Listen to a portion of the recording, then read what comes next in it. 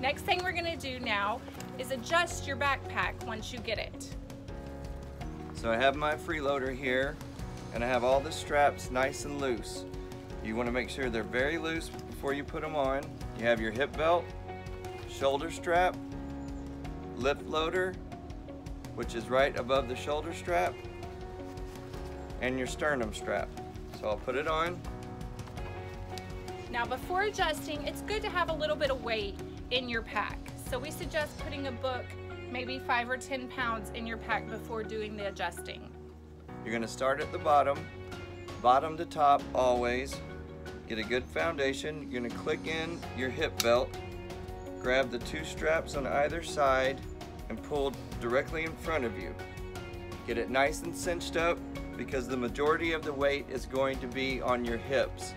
About 80% of the weight will be carried by your legs and your hips. Then you're gonna move up to the shoulders, grab them with your hands, put your elbows by your side, and just pull down and back. Good, nice and cinched up there, good and tight.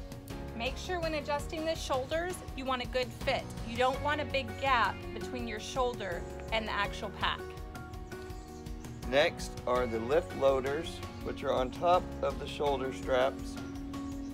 And you'll grab those and pull towards you. This helps distribute the weight forward.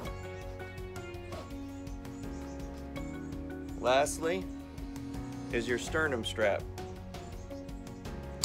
Click it in and just get it nice and taut, not tight, but just a little tension to get the pressure off your shoulders. Now, like Paul said, always remember to go from the bottom up when adjusting your pack.